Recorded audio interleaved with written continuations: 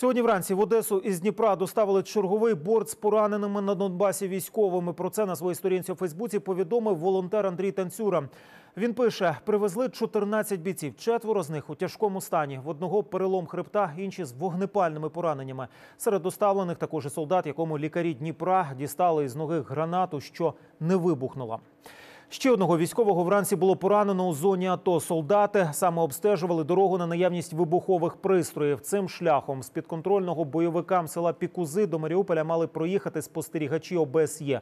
Однак терористи відкрили вогонь. При цьому, як вказує місія, російська сторона спільного центру координації контролю надала гарантії безпеки. У підсумку спостерігачі так і не змогли проїхати запланованим маршрутом.